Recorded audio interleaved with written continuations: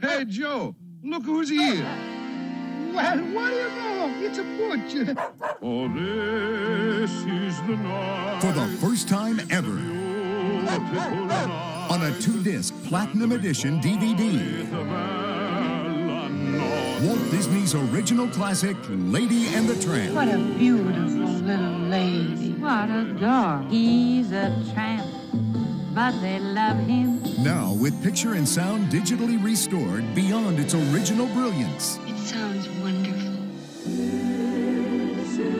Critics call it one of Disney's most enduring classics. Open up your eyes to what a dog's life can really be. Walt Disney proudly presents Lady and the Tramp for the first time ever on a two disc Platinum Edition DVD, February 28, 2006.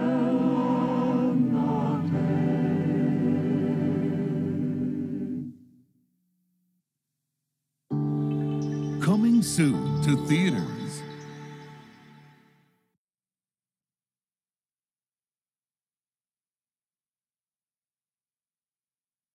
It's time to go behind the scenes of the latest Disney movies coming to theaters with Disney's Movie Surfers, which you can watch on Disney Channel. Hey, surfers. Rose here with the whole gang Josh, Tessa, and Jaren. We're taking an exclusive Movie Surfer sneak peek at two of Disney's upcoming movies. Plus, you'll see an early look at some of the Movie Surfer segments we're already working on. First up is The Wild, a new computer animated movie about a young lion from the New York City Zoo who is accidentally shipped to the wilds of Africa. So his dad and some of their zoo friends make their way through the concrete jungles of New York to find the real jungles of Africa to rescue the missing cub. And surfers, you'll get to see what really happens in the zoo once all the humans leave. The zoo will officially be ours in T minus three, two. Ready and. And I got the chance to meet the director and one of the animators of the film. This is a huge, huge adventure. We basically are in New York City, the ocean, and the jungle. Uh, the villain in our film is uh, a wildebeest played by William Shatner. Bring us those lions. He's done a fantastic job at really sounding evil. No longer will we dwell at the bottom of the chain. The Wild is coming to theaters soon. Next up, Tim Allen stars in Disney's new movie, The Shaggy Dog. Of course, you probably remember Tim Allen from the Santa Claus movies. Only this time, he doesn't turn into Old Saint Nick. He turns into, well, a shaggy dog. Oh, he bit me. Shit. And the surfers get to sit down with Tim to talk about the movie. So, Tim, can you tell us who you play in the movie? I'm a dog, man. I'm Shaggy Dog. What would you say is the hardest part about being a dog? Dogs are constantly distracted by s- odors.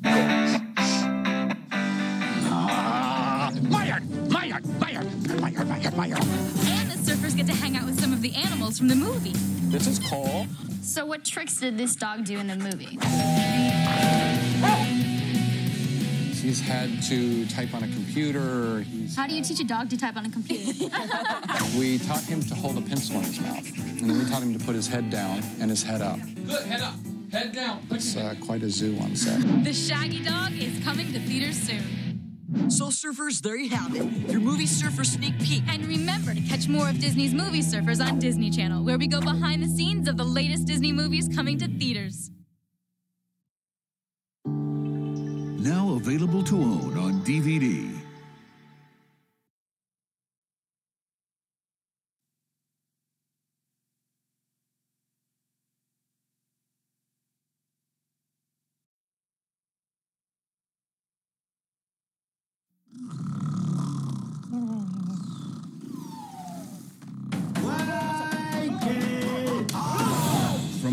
From the producer of Shrek and Shrek 2. Valiant Pigeon, reporting for duty, sir. Too small. You should be yay high, and you're not even hay high.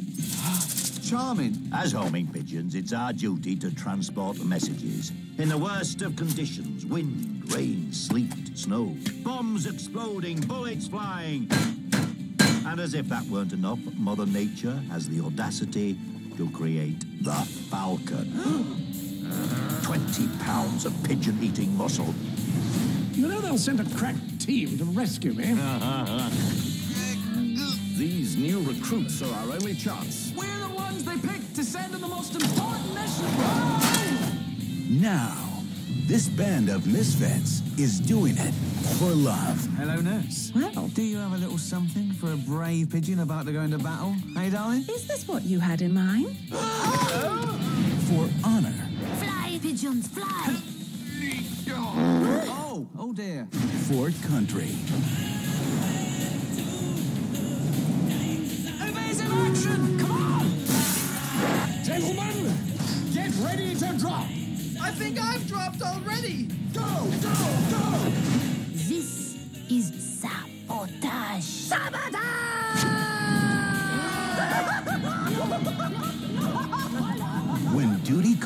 Pardonnez-moi. Do you speak French? Does ooh la la mean anything to you?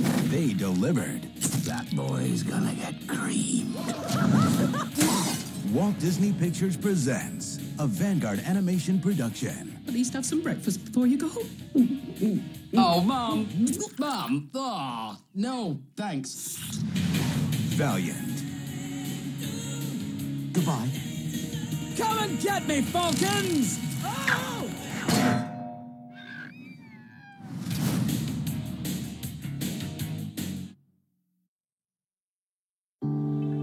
Now available to own on DVD and video.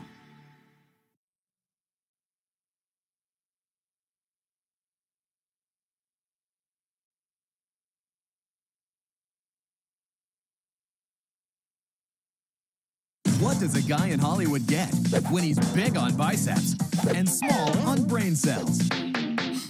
No, that's not it. His own movie.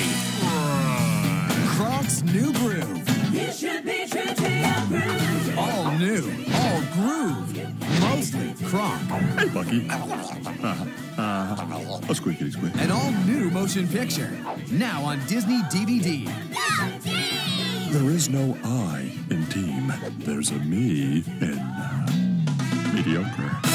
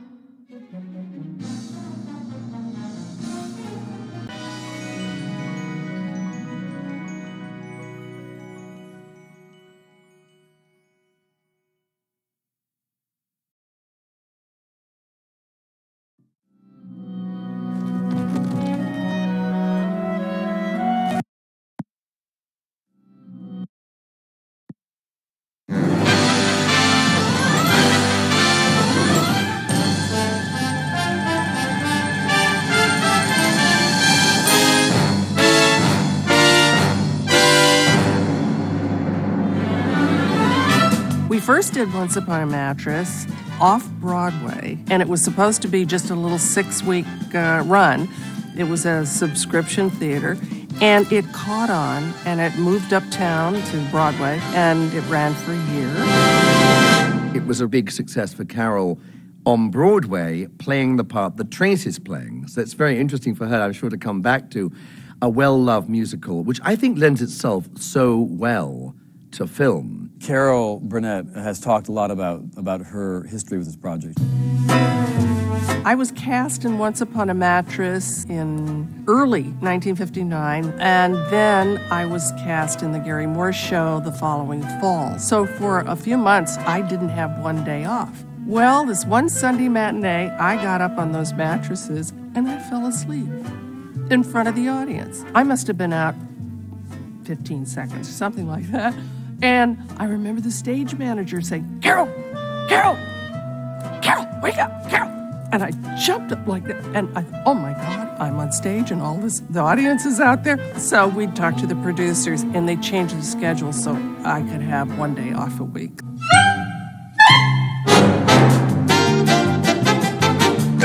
This is a musical that is written in the 1950s, you know, Mary Rodgers music, beautiful. And there's something about these kind of wonderful classic American musicals that have such energy to them and such exuberance and such joy, but also a touch of whimsy and silliness. And I think that's my favorite kind of stuff to do. If ever you tell anybody, oh, I'm doing Once Upon a Mattress, they say, I did that in high school. Because there's lots of girls' parts. And let's face it, the girls are always looking to do stuff in high school dramatic classes. And it's always, you know, there's not enough musicals with girls' parts in them. I think it's the third most performed show in the country. Um, in community theaters, colleges, uh, high schools, grammar schools. I did this play in high school. I was the jester and the minstrel because they had no tenors in my high school. It's so funny. It's just such, it's a, it's a very clever show. It's just got such funny dialogue. Oh, Winifred's so formal. Call me by my nickname. Winnie. Fred. My favorite kind of comedy comes from desperation anyway, and most of the characters in Once Upon a Mattress desperately want something, and I love that. I love that they're all desperate for something. Is it possible the pound, pound, pound to do like a sort of 360? But that was great. This show is directed and choreographed by a fabulous Broadway director, choreographer Kathleen Marshall, and she has that work ethic of a Broadway dancer. And she was in Cats for eight years or something. There. We were so thrilled that she, A, wanted to do it, and B, was available. There we go. All right. The great thing about Kathleen and, and her theater background is that, yes, she does bring it all to the stage, and she's made it very comfortable for actors. And then when you get here, if you just do a little look to the door, once you pick it up, like, oh, here they come. Yeah, great. And what's been wonderful is that before we even uh, started filming, we've all been together and getting to know each other and, and have fun together. And believe me, rehearsing with Tracey Ullman is a blast because, you know, all of a sudden other characters show up, you know, and, and amuse us for a little while. It's great. Can I pass the test.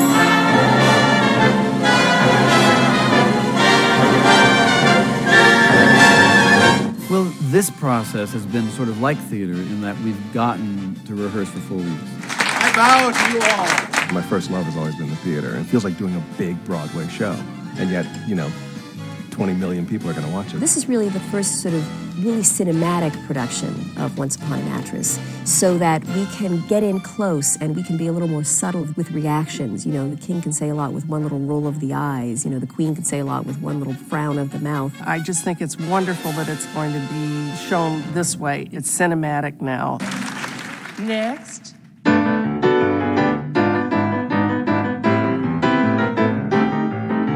I am so thrilled, of course, that I'm in my Bob Mackie designed outfits. They are absolutely funny. I mean, yeah, look. At the moment, we have a panty line problem. We're dealing with it, aren't we, Chris? We have noticed this. And then Chris Argadin is designing everybody else in the show, which is enormous. We have seven other principal characters, uh, many sort of courtiers and pages and guards. He rang me. I was in London and we spoke. And he said, Well, you know, you're working a lot with Carol Burnett and she's being dressed in Bob Mackie costumes. Is she ever?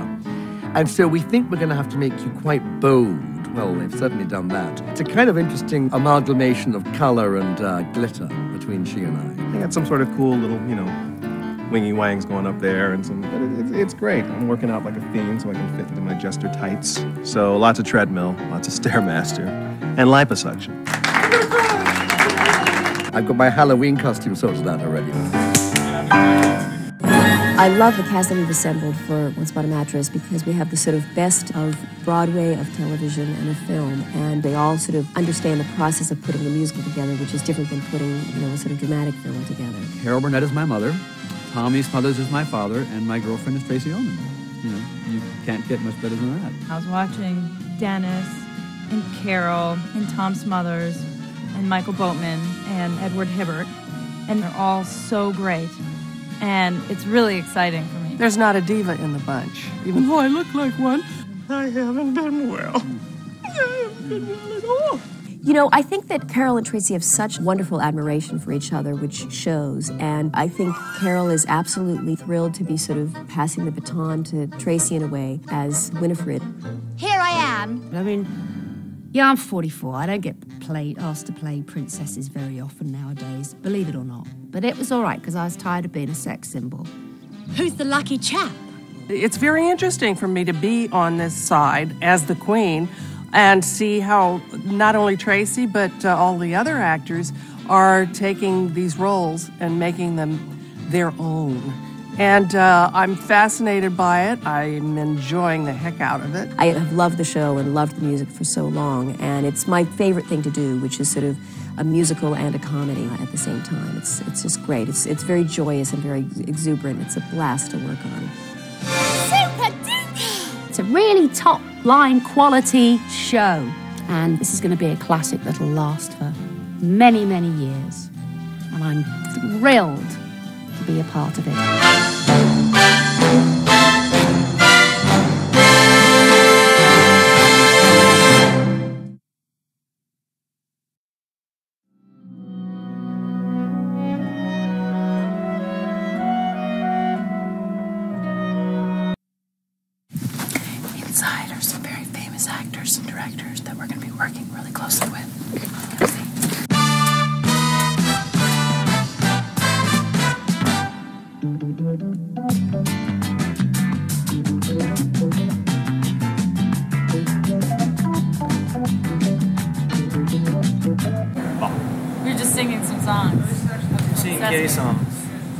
Not for kids, they're for adults too.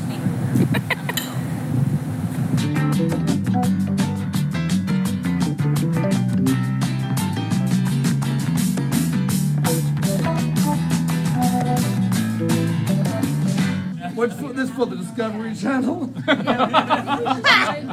Oh, look, Birdie it's the Page. exotic Verticus. Do you know what you want? Sex on a stick. It's the festive leggings. I can't. So, being an actor, love, is it very rewarding? But darling, we love the feet, don't we? well, these feel really strange. Ugh, that's sort of strange, these. How do you get a motivation for this? Well, I've been watching those of the birds in Stanley Park. Yes.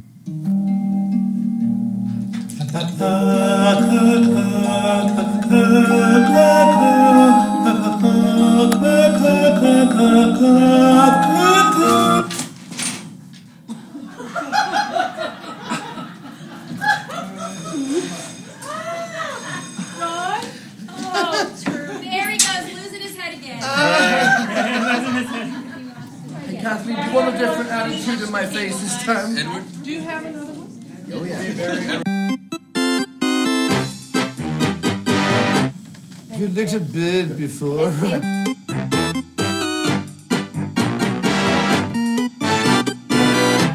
Come here. These are so beautiful, the way I can move these. Um, that I think we must have a lot of coverage of the feet. Hey, you know Trev? how you doing?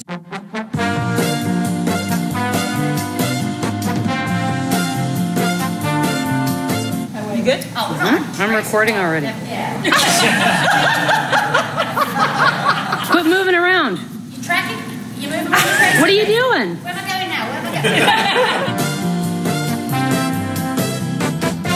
am I going? Oh, I have, I have man come in. He only have three toes. He pick a color. He pick purple.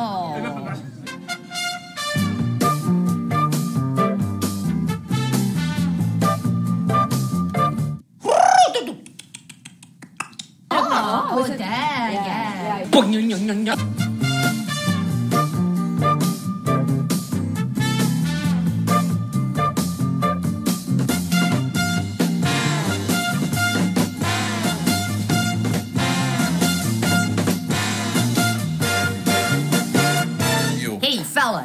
listen, forget about it. Get him out of here. Forget about it. Hey, how you doing, salami head?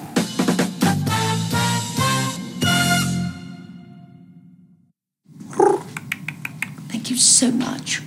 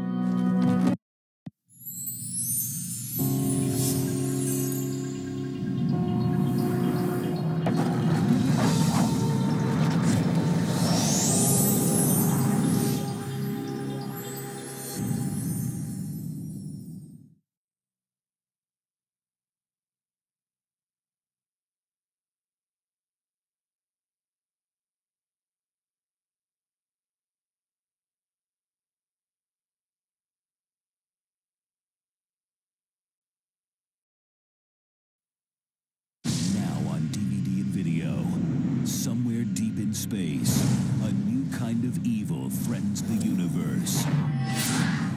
And our only hope is a new force of power.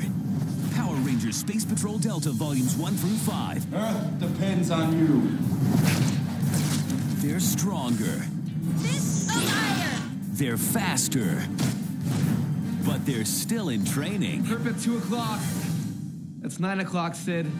Now you can be a part of the action with all new bonus features, including a virtual simulator game where you can learn to fly like a ranger. When our planet is in peril, say goodnight, friend. They take action. Power Rangers SPD, volumes 1 through 5. Collect them all now on DVD and video.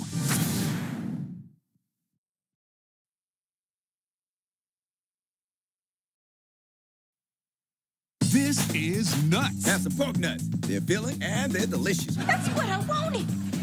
For the first time on Disney DVD, Hey, I'm new, I'm fresh. two Disney Channel favorites The Proud Family Movie and That's So Raven, Raven's House Party. Check it out, y'all. Penny Proud and her family are setting out on one nutty vacation. Ah, yeah, baby. I know my nuts now. I know your nuts too. That quickly turns into one shell of a nightmare.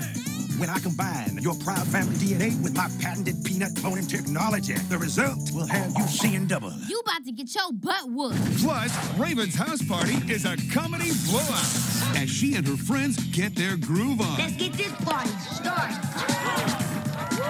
Check you out. with a never before seen episode. Let's go to the studio. Okay, okay. Two Disney Channel favorites. It's to die for. Let's watch it again. Now on Disney DVD. I see the future, Mr. Proud, and it's nuts.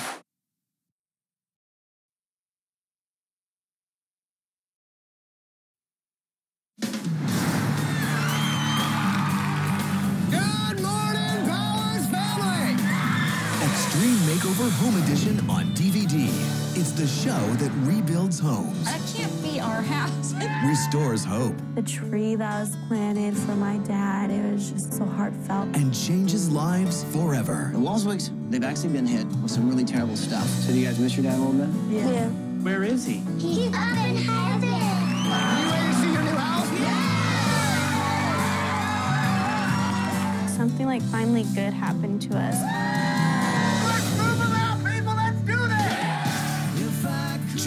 Ty Pennington and his design team. We're gonna give him a new beginning. In the most unbelievable makeovers from season one. And only on this DVD, experience unforgettable bonus features, including a very special look at just what it took to make this show a reality. It's the DVD that will touch your heart and make you cheer. This is more than any of us kids could ever asked for. Extreme Makeover Home Edition.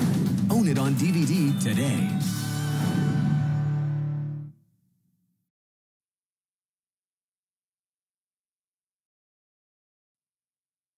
Tips on handling pesky in laws by Dr. Charles Shanowski, based on personal experience with his wife's sister. I thought I was going to have to carry my own luggage. First, try the intimidation method. And if that doesn't work, there's the tough love technique. Finally, the ultimatum. One month, and then you're moving out. Fine with me. 60 days is all the time I'll need. Watch Hope and Faith for more related tips. A new season Fridays this fall only on ABC.